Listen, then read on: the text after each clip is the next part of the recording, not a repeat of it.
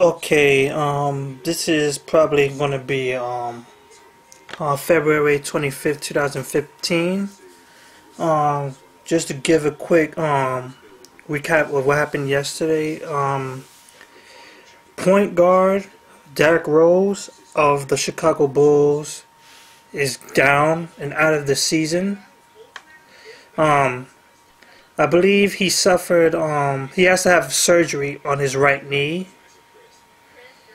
um, which would take him out of the play. Um, the whole season, which is very bad for the um, Chicago Bulls. um, he averaged um 18 points, five assists, and in 46 games of this season. this is bad for them. This is truly bad. Um,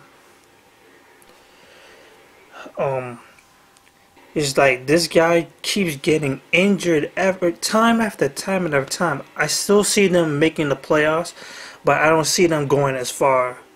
I say maybe the second round, as far as semifinals, I believe.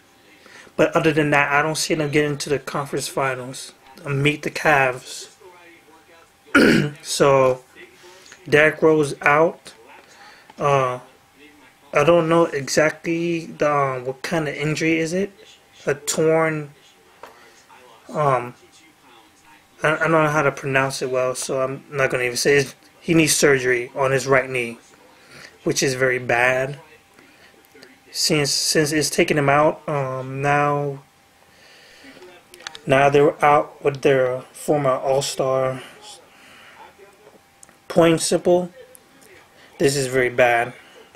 And we just recently had um, Chris Bosh uh, taken out of the season due to um, blood clots in his system, well, in his lungs, which will will take him out of the season for the Miami Heat.